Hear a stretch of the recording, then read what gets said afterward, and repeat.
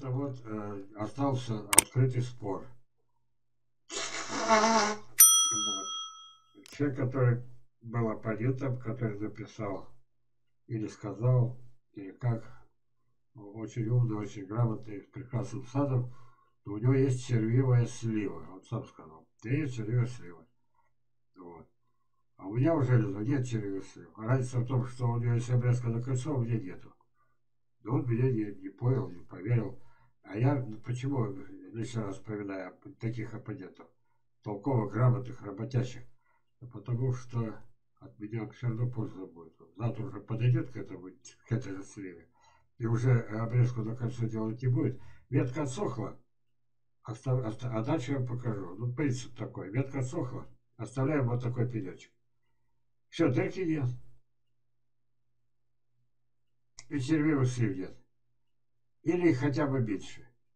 Если бы у меня были червивые сливы, у меня были сотни гостей. Я Александр Савельевич.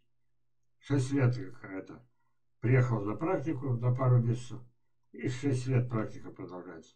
Есть у меня червивые сливы? Где-нибудь напиши, что есть. Я даже обижаться не буду. А кое-что есть, смотрите. Дело в том, что вот такие вот э, вначале искалеченное дерево, так? потом оно заболело, и у него получается не только сама веточки, не только листики, но и плоды – это часть дерева, это единый организм. Это единый организм. И этот единый организм болеет, если дерево искалечено.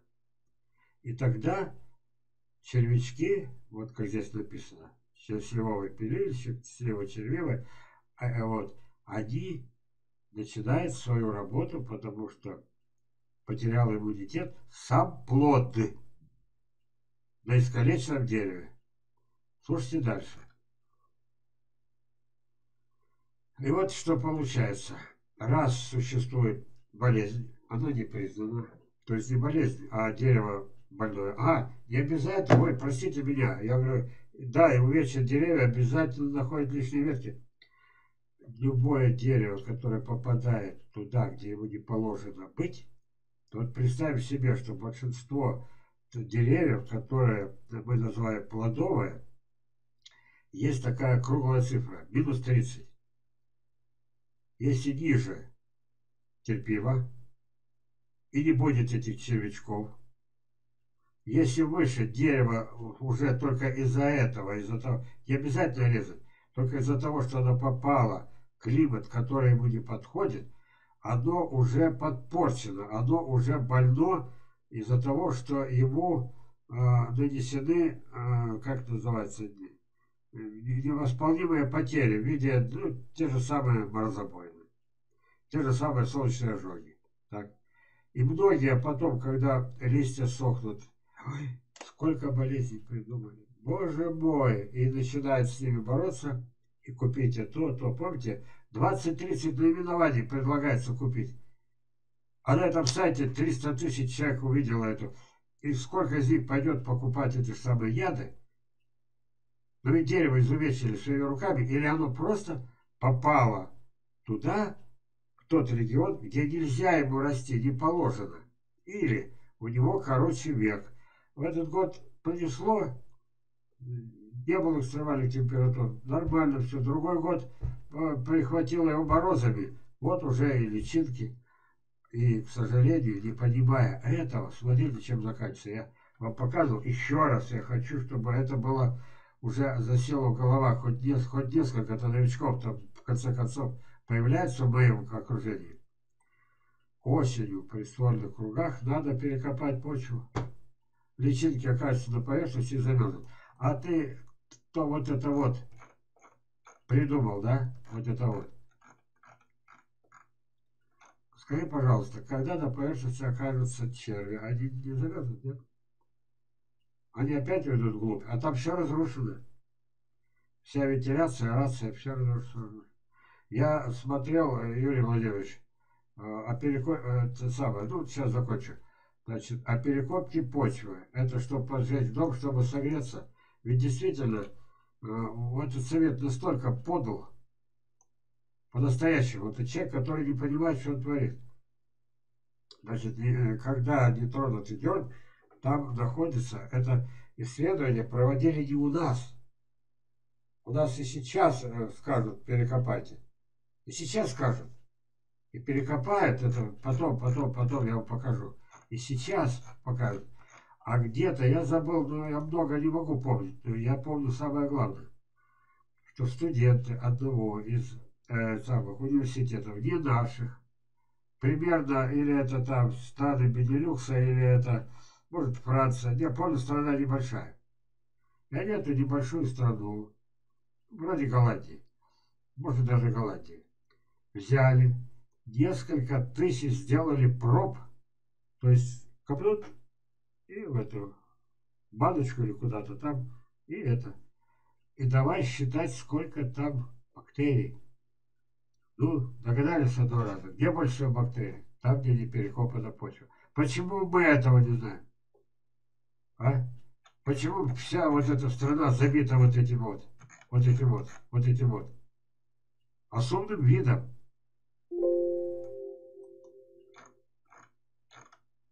И вы знаете, что самое страшное? Самое страшное, что когда вот он копает, а потом тот же голос комментирует. А вы знаете, что мы сейчас сдаем туда кислород? Разрушив все червячные ходы, он говорит, что мы туда... А ведь это на всю страну. Это десятки, сотни тысяч людей слышат и видят. Разрушив все подземную инфраструктуру полностью, мы подаем кислород. А еще, знаете что, это правда другая еще, еще умница одна, вот, из тех, которые с этими, с погодами. Она спокойно говорит, знаете о чем? Сказать, вот теперь, вот теперь, влага после дождя и после полива будет лучше попадать в почву. Вот для чего нужна перекопка. А Бог-то не знал об этом. Он бы сразу создал перекопанную почву. Дождевые тучи он создал. А это нет. А что ж ты будешь делать? Это что за это?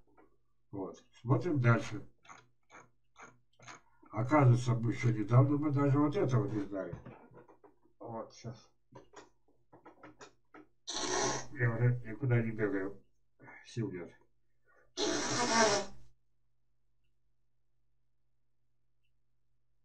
Так, значит, что получается? Чтобы мифических личинок уничтожить, уничтожается вся инфраструктура. Так, идем дальше.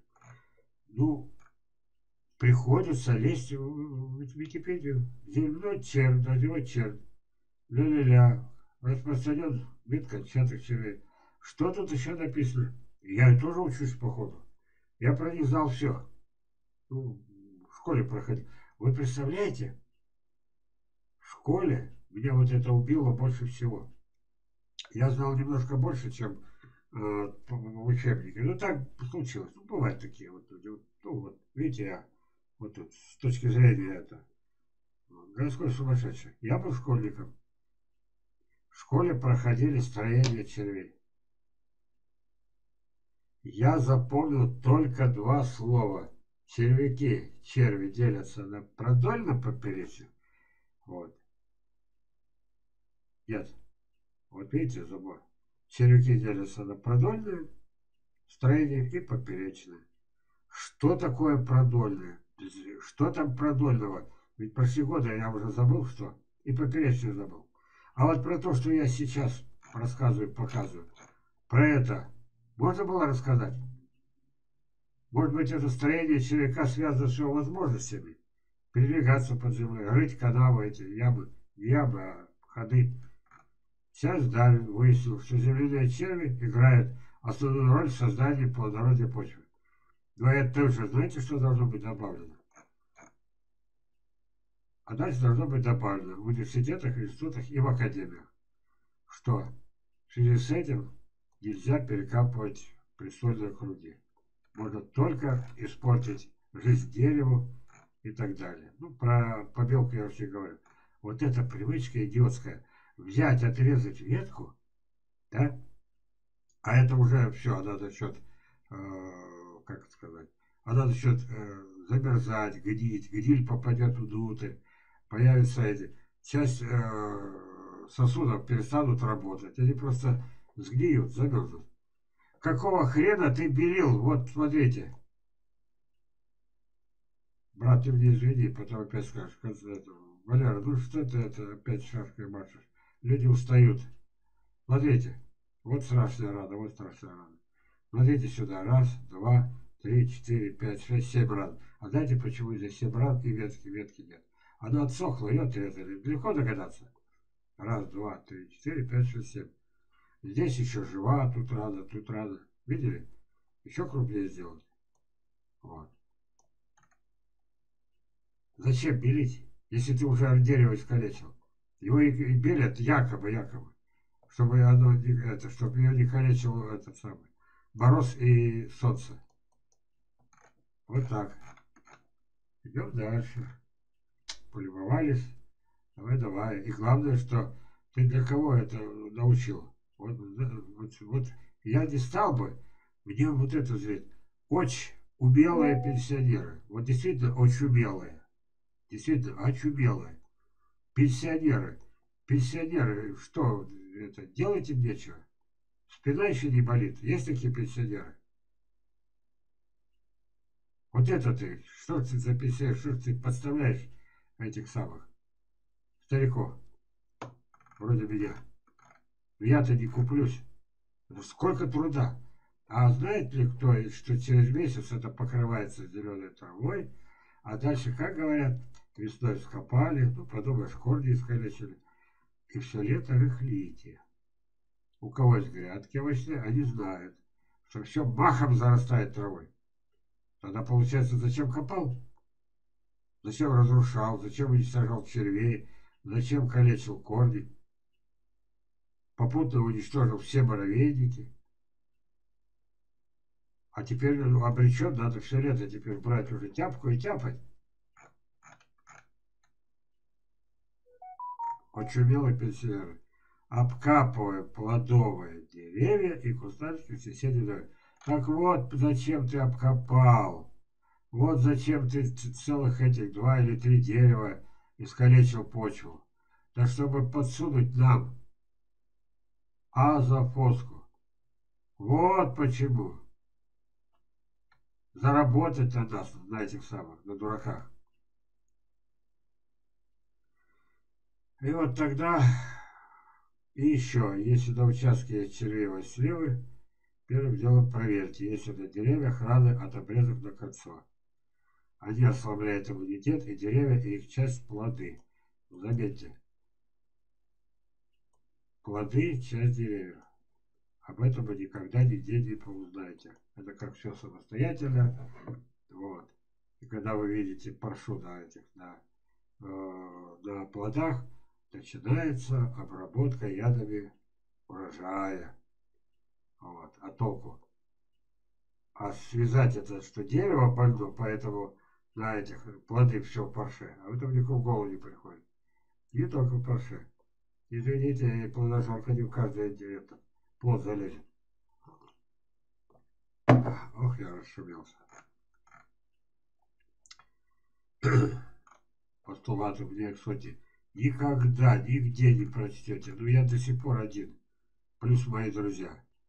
Жилище червей, муравьев, бактерий. Грибов, грибов. Обязательно прямо сейчас. Грибов. О роли грибов вообще молчат. Вот, я их польза. Грибы окружены ненавистью. Вы представляете, грибы, работяги, неприкосновенные. Хрестоматийный пример. Извините, еще раз скажу, потому что действительно муравьи в плодах. Переизбыток влаги. Один раз за 40 лет у меня такое случилось.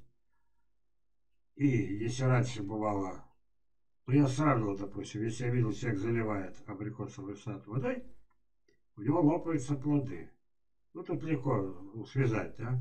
Вот. А вот с неба падает, ну, судьба. И плоды не все, не со всех деревьев, а с некоторых. Вот. лопаются, и вот эти вот поднятые земли, видите, вот эта вот трава, да, это я земли поднял, а это Илья Савельевич, который проходит у меня практику. Кстати, потом забуду сказать, в прошлый раз не сказал. Вы знаете, почему она настоящий ученый? Догадайтесь. Вот даю одну минуту. Чем ученый отличается от просто... У меня обывателей хватало. Приедут, охох, купят, уедут. Так, минута прошла. У нее в правой руке косточки черешни. Заметьте, съела черешню и не выбросила. Вот так и ходила, вот так. Почему? Потому что она аспирант университета, настоящий ученый. Вот, вот так и отличаются. А вот это вот мы поднялись с земли, вот, э, и мы еще брали с деревьев. Вот, вот, ну я точно помню, что вот тот, который справа от нас на экране, это земли, видно, прилипли кровь, эти самая трава прилипла. А вот этот может земли. Ну, точно помню, как мы с дерева, такие же передержки снимал, и прямо на деревьях мы их разламывали, прям с деревьев снимали, и вы видели целый муравейник. Кто виноват?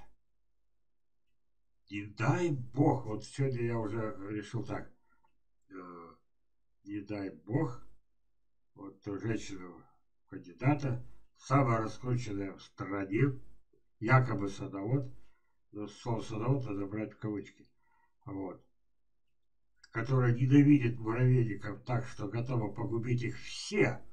Вы понимаете? Повторяю, муравей наступит на яд, занесет муравейник, и муравейник погибнет. Вы понимаете, нет? А если такие, как тот Никитин, который докопался до этого, это правда, которую мы давно уже знали 20 лет. Я показал, показал материал, который был за 10 лет до этого сделан до, до Никитина. Вот. Допустим, да? Вот. Это все позади. Вот. И получается так, что ничего бы не смогли сделать, ничего. И уничтожение муравьев, вот такими как Никитин, ну вот благо целью, ну, ладно, в лаборатории он этим напрямую не занимается. Но ведь у меня же молодых ученых, талантливых, гениальных, они возьмут и придумают биологическое оружие. Ну, например, как уничтожить этих самых маток, муравьиных маток, как уничтожить? А? Или самцов вот этих. Кстати, вы знаете, они с крыльями, самцы. Вот, это их особая роль. А то думают, вот они бездельники, им бы только трахаться, извините за выражение. Вот. Это важнейший момент, что надо срочно внимание, я обращаюсь к Савельичу, обращаюсь всем неравнодушным, всем, кто закончил вузы, кто не закончил вузы, никогда не закончит. Поймите, эту подлость, этого ханалию надо остановить. Вот. Природа виновата. Раз за 40 лет Прямо на дереве полопались плоды абрикоса, в них появились дырки, и туда, прям по стволам, у них ноги есть, у них крылья есть, залезли муравьи и пируют. Это их законная добыча. Законная. Почему? Остальное время они защищали эти же деревья. Как я говорил, ни одной дырочки. Говорил? Вот когда всем телевидение, все, все съемочные группы искали одну дырочку. Говорил? Вот. Остановить этого ханалию на уровне России. Я а, к вам обращаюсь. Эти 500 человек, которые ничего не решают. Ни одного олигарха. Потому что можно было бы с помощью денег такую компанию развернуть, чтобы я везде купил место на всех этих телевизионных площадках, чтобы купились бы на деньги. Я говорю, вот вам билет, дайте полчаса. Да, вот. И другим же дают. Ну тут, когда речь идет там, о поющих трусах, вы же понимаете. Ведь поют же, значит, делятся. А мне нужно ради хорошего дела, экран, мне нужен ради хорошего дела этот самый трибуна. Это очень важно. Вот только еще вот там тот момент, когда я сказал, когда про... Это там еще частый случай, когда я говорил про кометь, про живицу. Одна из страшнейших ошибок. Да, только ради этого надо было сегодня вебинар провести. Пусть бы он был 5 минут. Уже бы польза, уже не зря живу. А вот это, про муравьев, это исключительнейший случай. Единственное, знаете, что я сейчас скажу? Нас уже блокировали с братом на наш канал на 7 дней. Я не могу громко уже сказать. Вы понимаете, если я сейчас скажу громко, и не дай бог, он возьмет брат, мы же будем вебинар по темам, и, допустим, эту тему он назовет, допустим, вот. Боровик, главный защитник сада, и опять кто-то возьмет как-то э, руководителя Ютуба и напишет. Блокируем теперь навсегда. Недоказуемо. А как действительно недоказуемо? Кандидаты наук это, смотрят на экран, заносят в этот самый, э, на огромном листе, по-моему, металлическом листе, значит, целый муравейник, как они у нетронутого такой, и поливают уксусом. Вы понимаете, что творится? Вы понимаете, что оружие изобретут, а потом поздно. Это так же, как примерно. Ведь не обязательно создавать водородную бомбу. Ведь когда водородная бомба начала гореть, это же процесс горения гелия. Вы знаете, что такое водородная бомба. Ну, в школе проходили. Вот. Это процесс горения. Она горит это. И они сидят, эти ученые физики, в ужасе. Уже сроки прошли, горение должно было закончиться, топливо должно было э, это, прекратиться, э, самое, э, реакция это, это, э, цепная реакция должна была прекратиться, и все, а она не прекратилась. И они в ужасе сидят, у них там седые волосы или лысые волосы, они держатся, ну, господи, неужели атмосфера загорелась? Ну, это ладно. Тоже страшно было. Вы заметили, что а после этого это отказались от испытаний. Это не шутки. Вот. А здесь-то проще. А давай-ка оружие против муравьев, чтобы они не размножались. Они же враги, смертельнейшие враги. А? Кандидаты наук. Ведь вас же тоже учили этому. Ведь вы же не сами придумали. Это идет из поколения в поколение. И тогда за несколько лет жизнь погибнет, доедим все, что было. Муравьев нет, все уничтожено. Уничтожена будет вся растительность. Это же равновесие какое. Потом еще пройдет годы, исчезнут люди, все мы вымрем. А потом жизнь-то будет продолжаться, да? Потом смотришь, кто-то заменит муравьев.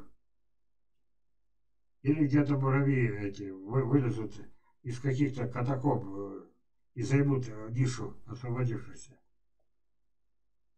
Вот это, ради этого я живу, ради этого вот этот вебинар. Единственное, ну нельзя, вот сейчас вот брат возьмет, напишет все это, броский заголовок, чтобы все видели. Вот. И все, и мы остались без канала, и вообще тогда это последний шанс наш.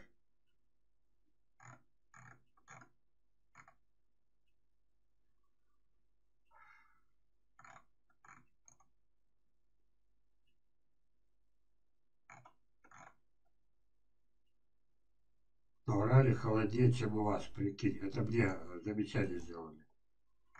А так как сделали замечание. Я показывал это в фильме в отдельном, но вы не могли все видеть, там 200 просмотров. Я тогда шутливо написал. Приезжайте к нам на Колыму. Нет лучшего к нам. Ну, у меня не Колыма, но все-таки это. Кстати, чем минусинский персик отличается от хасанского? Ой, елки-палки. Такой хороший вопрос. И, может быть, на нем и закончим. Вот же, это не я. Это товарищ спросил. Интересно, а почему он там? А, да он наверняка не смотрит вебинар. Раз он общается с, с помощью WhatsApp.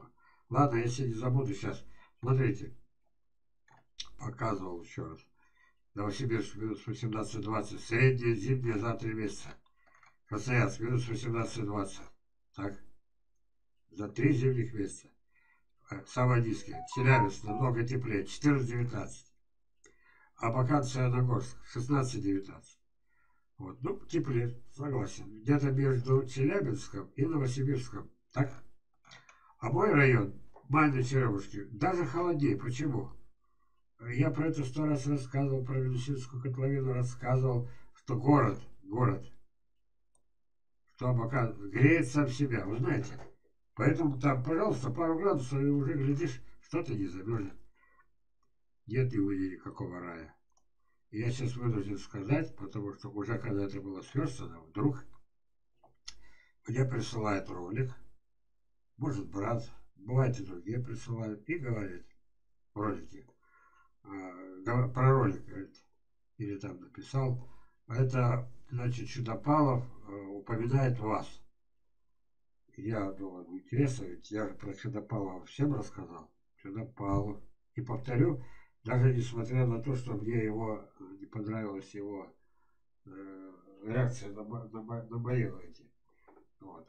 Я в таких случаях не обижаюсь, потому что выдающийся человек вот, а таких не обижается. То привел только сейчас сморкался. Придется вставать. Ничего, друзья, ну что делать? Я возьму нормального мужика, который бросил моржевать и перешел в разряд обывателя.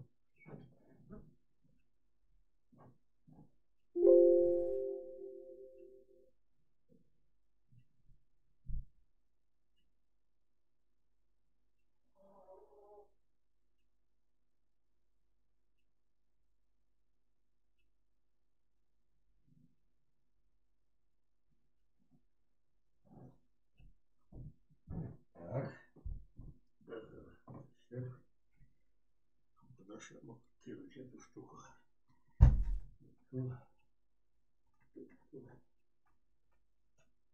Ага. Так, все, продолжаем. Значит, убедились, что у меня среднеземье всего на 1 градус от, отличается. Заметьте, Красноярск 18-20, у меня 17-19. 1 градус. То есть э, нет никакого противоречия. И вот сюда пал. Почему я говорю, фамилию называю? Ну, без обиды. Он же чтобы не просто со мной общался, спорил со мной, а он взял и громогласно сказал следующее.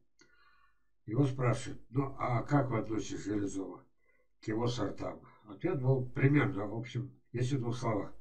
Ничего особенного, там теплее. Вот тебе здрасте. Ну, ладно бы, если бы он не укрывал и получал бы эти урожай персиков, но он стопроцентно укрывает, сто процентов. А у меня персики есть и укрывные, и неукрывные. Да, неукрывные через год плодоносят, укрывные каждый год. А если еще говорить точнее, и укрывные, я имею в виду варианты, э, которые Минусинский и Хасанский, которые от меня перешли в, эти, в летник э, Чернобаева, так? Вот, они перешли туда. Вот. А у меня были только неукрывные, я этим гордился. Я их терял, они замерзали. Вот. Но я этим гордился, что я не укрываю. Так. И как можно было сказать, что у меня э, райский климат? Еще раз. Я прошу Чудопавла, я считаю, он просто ну, недо, недооценил, не стал вникать в это дело. Вот. Поэтому я вам предлагаю, приезжайте к нам, пусть и на Колыму, но хотя бы в это к нам в Красноярский край, Шушинский район. Вот. Жаль, не ожидал. Все-таки я надеялся, что он лучше разбирается. Вот. А эти данные, вот они. Байкова, а, моя хорошая знакомая, она же директор ГСУ тогдашний, поделилась с Курдюмом, который я часто вспоминаю. Курдюмов со мной. Вот это все. Тут есть еще более ценные вещи. Это где прививать, минимум на высоте. Это мы отдельно разберем. Учеба будет продолжаться. Вбили людям голову, чем выше, тем теплее. Это же догадаться до такого. Вот оно, на самом деле как. Но это будет другая тема. О чем еще поговорим? У нас уже время истекает, так? Ага. Осталось 17 минут, чтобы выдержать все. публикации 7 дач э, мини-деревьев. Да, это, пожалуйста, это не могут. Вот, я не знаю, у меня, если у нас вообще плохо с садами, то мини-деревья хуже всего. Сюда входят и колоды, сюда входят эти самые э, кокардики на клоновых подвоях. Вот. А публикации есть, а вот отказаться, а, а вот то, что наш друг из Харькова Семенченко, который интерпретировал мои статьи, преподнес их, как сказать, как он это видит, всегда чего послала. Вот.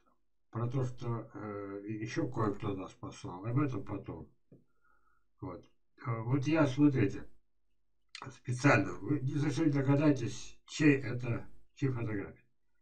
Дело в том, что вот одна фотография, так, а и вот вторая, вот верхняя и нижняя, видите? Это и все. А теперь, я понять не могу, я уже показывал вот эту фотогалерею, да? Это что, трудно сделать такие фотографии? И целые деревья сделать, и крупный план. Вот, и чтобы люди вот этому поражались. Вот. Сейчас далеко ходить не буду. Хотите, покажу фотографию наворованные. Из вишен, вот самая популярная моего сада. Видите, как я делаю? Раз, поднес сюда. Вот. И все. Смотрим дальше. Ой, боженьки мой. Самое интересное, что здесь есть не только как у других пока. Вот смотрите. Вот эту фотографию свистнули с трусами Сергея. Вот он. Это его рука. Да? Вот. И, и такие вот. Это. Ну ладно, все мы это проходили. А вот. Вот и это самое популярное, где целое дерево попадает.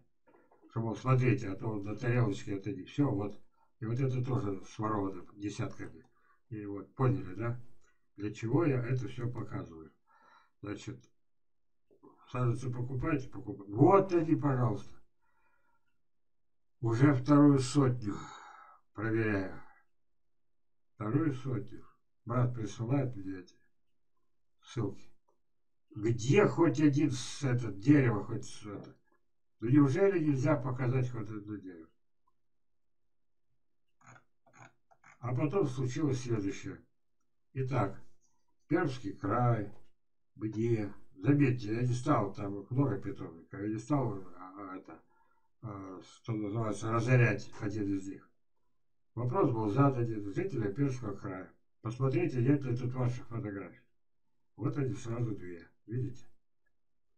Вот.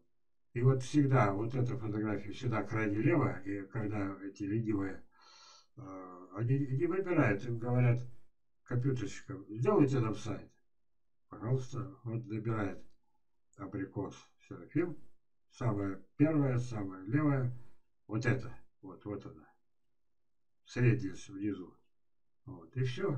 Вот это одна из самых популярных тоже. Вот. И тоже моя. Вот. И видели? И вот что интересно, не имея фотографии, значит не имея этого сорта, они столько всего напишут про него, ну, ну как не купить-то? Ну как не купить? А дальше ниже будет, что вы ненавидите. Как там было сказано, а? Возмутительские вязики. Который из вас? Ольга или Наталья? Как вы сказали? Да вы потому на нас накинулись, ваши слова, они есть там, я потом как покажу. Потому что вы ненавидите Тимирязевскую академию. А вы потом позвонили после этого фильма, чтобы они убрали мою фотографию? И не позорились? Вот так надо отстаивать часть своей фирмы. Отстаивать. Закончили Тимирязевку? Звоните в альма и говорите. Вас Железов ненавидит. И по делу. Вот это вот, э, там у Победы это было, помните слово это? Э, маленький дерево, нет, карликовое дерево. Вот карликовая груша, да, колдовидная. На свете нет ни одной груши. Рекомендую, как надо их изобличать. Берет художник, это нарисовано. Всегда запоминайте сразу. Если на фоне вот такой вот как бы трава, вот такой невнятный фон, он тоже нарисован. Посмотрите, как фантазии не хватает. Вот, вот, вот груша. Видите, вот это пятнышко беленькое на этом, в тени вот оно выделяется. А, а это не. А это не. И я много чего показывал там. Как, как, как, как это. В общем, я таких разоблачил добрую сотню. Вот. Ну и сами видите. Мои попадают в число лучших, самых ярких. Это не признание со стороны мошенников, а это вегетативные гибриды, которых до признания товарища Никитина считалось, что их не бывает. Но я, знаете, что переживаю? Из-за Никитина тоже. Его сейчас раскрутили, завтра могут послать. Почему? Абсолютно убежден. Он был изгоем, он закрылся с этой это будет как легенда. Он на 9 лет закрылся в своей лаборатории, не ел, не пил, не спал. Вот, в своей личной лаборатории. И вот он... А, вот, мы сейчас будем заканчивать, но это очень важно. Дело в том, мы не дойдем до той статьи, в другой раз покажу, которая забраковала это, которую забраковал Киев. Дело в том, что так получается, так получается, трогать эту тему. Это же болезненная тема. Сейчас дайте мне секунду подумать. Ладно, скажу. Итак, Никитина опубликовали статью в одном из самых уважаемых журналов планеты. А до этого его никто не знал, и его бы никто не узнал. Понимаете? Никто не знал, и никогда бы, если бы не было то есть он бы так еще бы 10 лет бы там сидел, ел, не пил, вот, и не спал. И ничего бы не было.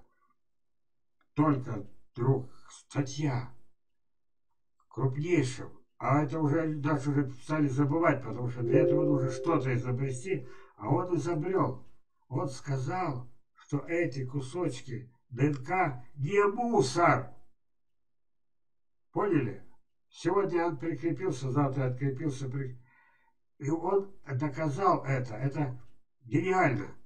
Но тогда Латинков-то по этому гробу должен переворачиваться. Он об этом 10 лет, 20 лет назад сказал. А вы посмотрите наши снимки.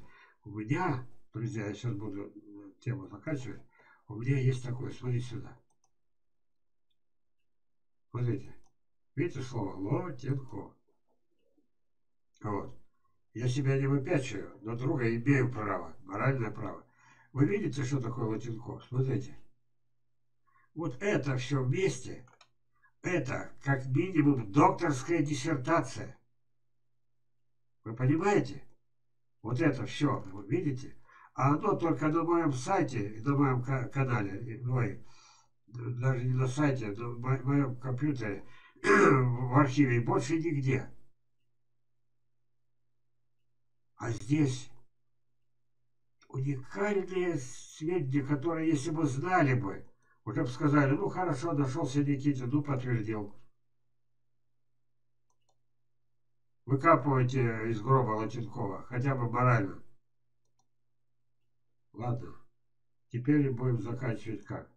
Был задан вопрос, его задали по WhatsApp, но он мне настолько нравится. Вот, его, по идее, надо рассказывать с фотографией, фотографией, фотографией. Вот. Нашелся один человек, непорядочный человек, я еще не знаю, надо фамилию светить, который сказал, что у Железова нет и никогда не было хасанского персика, что хасанский персик он раздобыл у Чернобаева, сделал вид, что не знал, что это Чернобаевский сад, это фактически мой сад, дублер. Вот. А, а, он про это сделал вид, что не знает, сделал вид. Вот. И попутно опустил Бродского, а у него минус 28, тот же Хасанский выдерживает, и за несколько лет якобы адаптировал персик Хасанский, дал ему новое название персик Палькова, и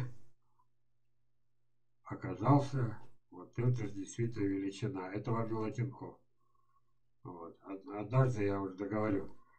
Потому что его никто не просил озвучить это все, что у Железова нет никогда не было персиков. Вот. Я вот приезжал в Железово, два дня у меня жил, залез ко мне за пазуху, вот, уехал. И чтобы оказаться первым, накупил где-то этих продажных персиков, обреченных на смерть. Вот. И это все в течение нескольких лет с нуля, якобы начиная, адаптируя, теперь персик Малькова. Вы представляете? Вот, вот тут уж действительно. И вот тогда я сейчас скажу, посмотрю вот здесь вот по WhatsApp, и мы как раз время наше выходит. А, будете связываться с Мальковым, пожалуйста, пусть покажет свой маточный сад. А тогда уже дальше. Вот. А то оправдывается. Не, вы не поняли, у меня, у меня по улице Свега персики не вывезли. Нет, нет, они высохли. А это разные вещи, оказывается. Бережа сушишь, она тоже высыхает. Я такого дебильного обращения никогда не светил. А почему я с ним так разговариваю? А не хрен было врать-то. Приехал два дня, прожил, я за друга принял. Вот. А это легко, Бродский 28, уже Железовики нет. Все, я первый на планете. Вопрос. Чем белосетский персик отличается от хасанского? Фамилии нет, пришлите каталог. Отвечаю пока так. Ну, ну, ну, ну, пока так, потом могу и с фотографиями и показать, сколько у меня каждый год были персики, урожаи, все. И телевидение, и журналисты, все было. Вот. Просто есть такой способ убрать конкурента. Вот. Да, у людей они будут замерзать, его персики, потому что э, он перекупщик. Вот. И если вот еще вякнет, я это всю правду расскажу про него. Если еще где-то вякнет, что это, получается всего слов железный мошенник. Вы понимаете? Что я продаю? Что Сергей мой сын продает? Где черенки берет? Ладно, тогда давайте так. Еще буквально пару слов про персик. Фотогалерея. Фотогалерея, фотогалерея. Ну, я как бы по-быстрому-то их найти. Персики. А вот, посмотрите. Это то, чего нет. Это, кстати, фотографии были сделаны примерно в то же время, когда он ко мне приезжал. Так вот, ну а тут далее все, пока не буду дальше. Итак, персик хасанский, привитый на мажорский абрикос и на китайскую сливу, получил дополнительно, несколько поколений, получил дополнительную, э, дополнительную морозостойкость несколько градусов. Персик минусинский я рассказывал привез 20, я коротко привез 20 саженцев. Они вот тут есть. Выше, выше. Все, давайте другая что расскажу. Пока два слова. Итак, привез друг 20 сельцев, до плодоношения дошли. И сейчас их осталось порядка 6. И не вымерзают, чувствуют себя плохо, не привитые. Так, так они сельцами остались до все эти 15 лет. Вот. Урожаи давали, фотографии есть. Но это потомки, то, что сейчас попало в виде косточек. Вот, потому что косточки я продаю. Вот. И это попало в виде косточек и в виде... Э, вот они же, ну вы все видели. Ну, ну не все, но многие видели эти фотографии, эти самые мои походы по саду. Подхожу, угощаю. Несколько фотографий сделаны в присутствии Турсун Полота Трускабилов. Знаете, что какой это человек? Однажды, когда вот такие вот, э, мягко скажем, нехорошие люди, как Бальков Андрей, значит, начали доказывать, что я где-то кого-то обманываю, я сказал, вот ваш телефон, вот, Турсун Полот, можно я буду давать всем, и пусть вы будете подтверждать, угощал я вас или не угощал персиком, или не угощал. Вот так. Он сказал, да, конечно. И при каждой встрече привозя ко мне гостей, гостей, гостей, каждый год он говорит, это Железов, это выдающийся садовод. Ну, а как может еще узбек говорить?